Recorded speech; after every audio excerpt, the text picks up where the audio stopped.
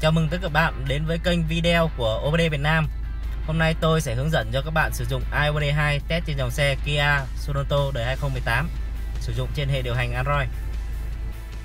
Ừ, Đây là thiết bị iOBD 2 Bây giờ tôi sẽ cắm thiết bị iOBD 2 này vào jack OBD 2 trên xe.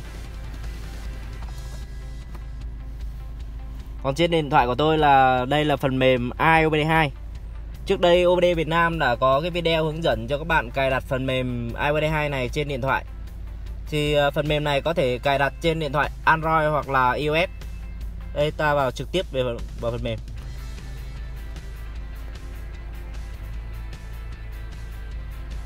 Đây, chúng ta kiểm tra trên này đã kết nối với xe rồi này. Bây giờ mình vô phần chuẩn đoán Diagnostic Vào đọc lỗi phần Trouble Code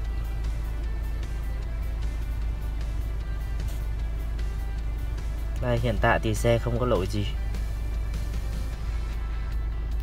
Ở vừa dưới phần dưới, mình có phần xóa lỗi. Areon on focus. Vào phần online data, Phần dữ liệu động của xe. Đây, mình mình chọn on. On thì nó đọc tất cả luôn. Đồng đây nó sẽ hiện lên tất cả data giữa xe. Tốc độ động cơ hiện tại bây giờ là 791 vòng trên phút.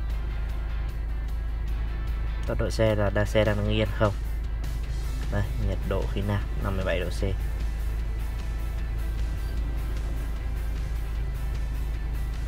Thông số đầy đủ tất cả cho các bạn.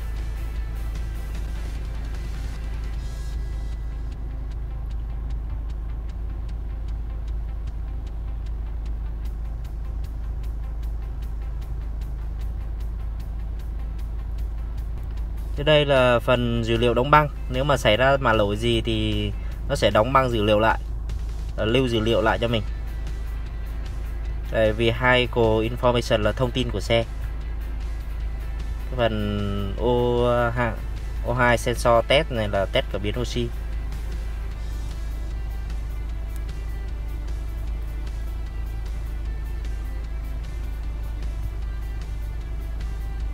Component test là ờ, test bộ phận. Vừa rồi tôi đã hướng dẫn cho các bạn sử dụng iOS 2 test dòng xe Kia Sorento đời 2018 Như các bạn đã thấy thì iOS 2 này là một thiết bị nhỏ gọn mà nó hỗ trợ cực kỳ tốt cho dòng xe ví dụ như dòng xe 2018 đây. À, Cảm ơn tất cả các bạn đã quan tâm theo dõi. Xin chào và hẹn gặp lại.